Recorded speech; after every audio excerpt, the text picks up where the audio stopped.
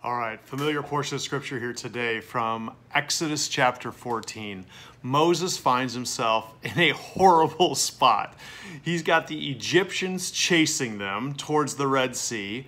He's got the people of Israel, the people that he's leading, complaining, saying in verse, verse 12, Didn't we tell you this was going to happen? We knew this was going to happen. Why didn't you just leave us in Egypt? Being slaves there is better than being corpses here in the wilderness. So Moses is in an awful, awful spot. And I'm guessing, and we don't see this in the Bible, Moses is asking these questions himself too. Thanks a lot, God. But Moses told the people, Don't be afraid, just stand, watch the Lord. He's going to rescue you. That's what verse 13 says.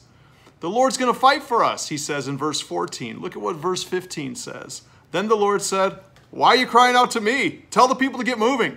So Moses just told the people, Stay here, God's going to take care of us. God says to Moses, Why are you standing here? Get going. Ah, what in the world do I do? But here's something I never noticed in the story. So you got this unbelievable turmoil, questions, what in the world going on? And then verse 19 says this. It says, Then the angel of God, who had been leading the people of Israel, moved to the rear of the camp, protecting them from their very clear and present danger and threat the angel who had been leading the people of Israel to a place they didn't want to be, they didn't like, the angel that had been leading them to that undesirable place, now went to the rear of the camp where the threat was. The pillar of cloud also moved from the front and stood behind them. Verse 20 The cloud settled between the Egyptian and the Israelite camps. The cloud, the presence of God, settled as a buffer between the threat and between the people of Israel. It settled there. At, as darkness fell, the cloud turned the fire, lighting up the night, but the Egyptians and Israelites did not approach each other all night. There was a, it wasn't a ceasefire, but there was a calm night.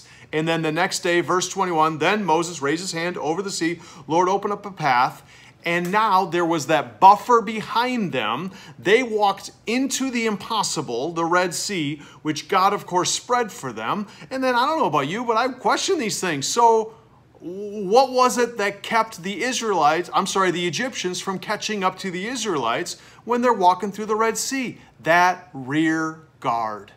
God led them, and then when the threat was coming from behind them, God protected them. That's it today.